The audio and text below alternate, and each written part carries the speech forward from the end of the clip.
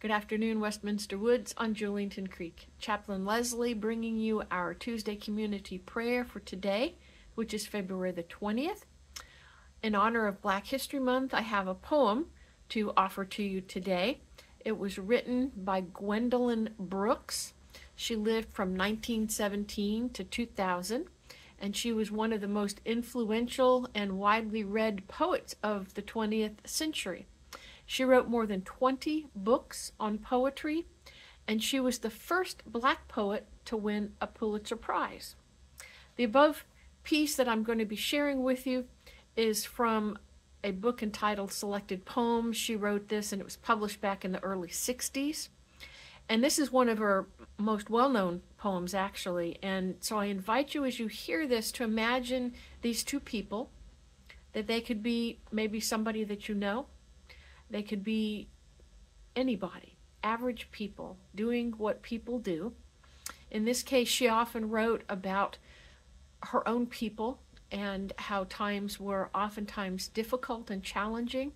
And so I invite you to picture this scene that she writes about. This is entitled The Bean Eaters, again by Gwendolyn Brooks. They eat beans mostly this old yellow pair. Dinner is a casual affair. Plain chipware on a plain and creaking wood, tin flatware. Two who are mostly good, two who have lived their day, but keep putting on their clothes and putting things away.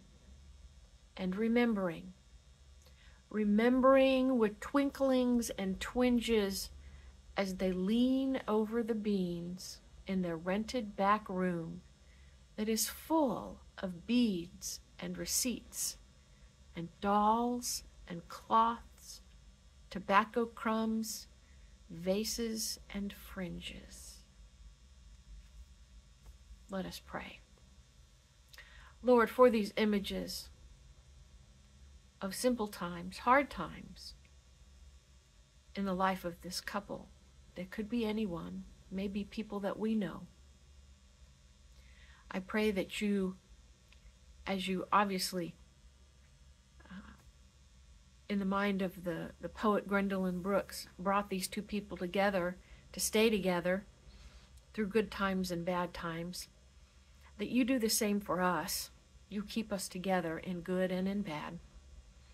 I humbly pray for each person on our campus every resident, their family members, staff, and family members of staff, that you continue to bless us, especially in this season of Lent as we move ever closer to Easter Sunday.